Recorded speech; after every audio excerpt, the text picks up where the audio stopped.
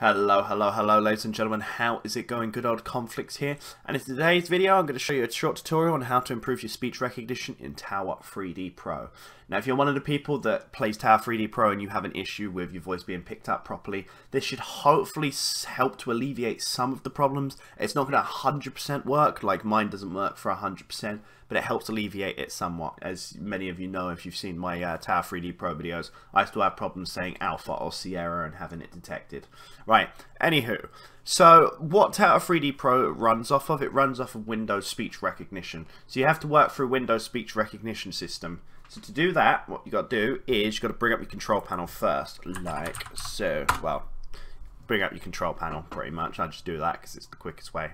So then you click on Ease of Access, and then we have speech recognition here. Have a click on that. Then you've got a bunch of choices here. Start speech recognition, speech tutorial. If you've never been to this page before, you want to set up your microphone. So click on this. So obviously I've got a Blue Snowball, which is a desktop microphone, but you may have a headset, you may have a karaoke microphone, whatever you have. You click on it. The most advisable and recommended one is headset microphones because it's closer to your mouth, so it's obviously there's less chance of interference of any shape, form, or description. So what this is going to do when I click next is it's going to give me a phrase that I need to say and this is going to help the speech recognition pick it up. So I'm going to click next here and you'll see what the phrase is. Peter dictates to his computer. He prefers it to typing and particularly prefers it to pen and paper. So pretty much that's what you get there. You just say that phrase and it's good to go. That kind of sets it up. So what you want to do next is you're going to also want to do a run of train your computer. You want to click this train your computer to understand you better. And what happens in this, I'm not going to go through it, is what I just done there with the Peter dictates, it gives you 10 different phrases like that. And you say these phrases, it picks it up, it then moves on. Um, and what this helps to do is help builds what your speech sounds like. So it helps pick up your speech better when you're in games like Tower 3D Pro. Now, personally, for this, I had to run these tests around about six or seven times to get mine working to the level that you see in my videos.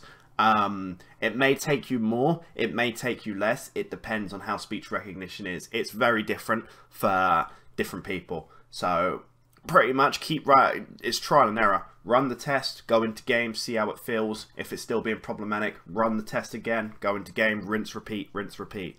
That's the only way that I've found that you can really improve it. But yeah, that's pretty much it in a nutshell there, ladies and gentlemen, on how to improve your uh, speech recognition in Tower 3D Pro. I hope you did enjoy this video.